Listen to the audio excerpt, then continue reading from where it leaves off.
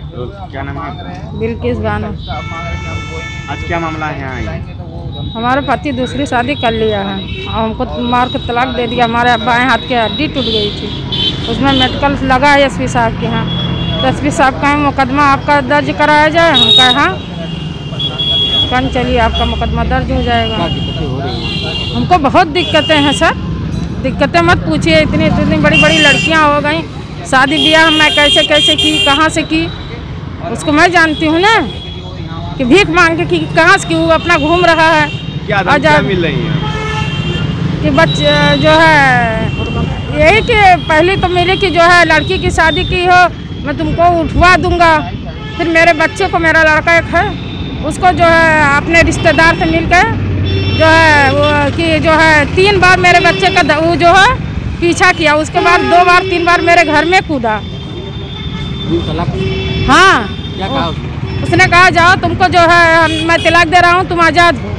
तुम्हारा मेरा कोई संबंध नहीं है। ऐसे फ़ोन पे बोले या सामने? नहीं सामने? क्या करते हैं आप? आप क्या करते हम पढ़ाते हैं।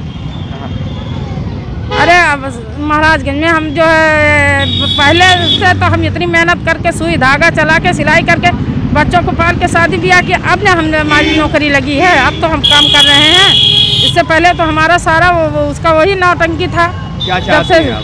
हम चाहते हैं इससे कड़ी से कड़ी सजा मिले और इसको जो है आ, वो क्या शादी कर रहा है? जी कर लिया है। क्या कर लिया है? शादी। कब किया? अरे अभी ये जो है ग्यारह दस ग्यारह अक्टूबर को किया है। एक दो महीना हुआ होगा। हाँ, बहन सब मिल के बहन।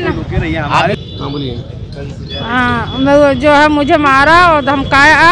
और उसके बाद जो है, मारकर मेरी बच्चियाँ थी, मेरा हाथ तोड़ दिया। उसके बाद हम अपने मैके चले आए। उसके बाद हम- हमसे कहा वहीं हमारे सामने कि हम तुमको तिलाक दे रहे हैं। जाओ, तीन तिलाक ले लो, जाओ, तुम्हारा मेरा कोई संबंध नहीं रहेगा।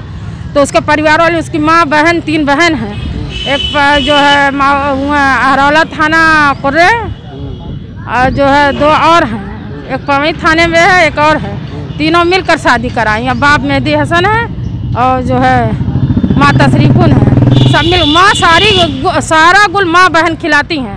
हमेशा से जब से मेरी शादी हुई सारा इसका वो जो है टारगेट माँ के लग सोता है माँ के लग बैठता था हर काम माँ ही ने कराया उसका माँ बहन ने। ठीक।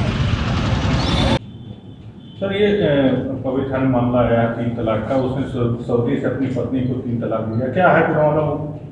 एक पवई थाने का एक प्रकरण सामने आया है, जिसमें एक महिला द्वारा बताया गया है कि उनके पति ने उनको तीन तलाक फ़ोन पे दिया है और वो बाहर रहते हैं इस टाइम पे।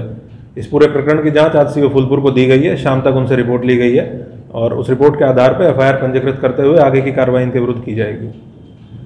अच्छा सर, ये मुख्तार अंसारी पे कल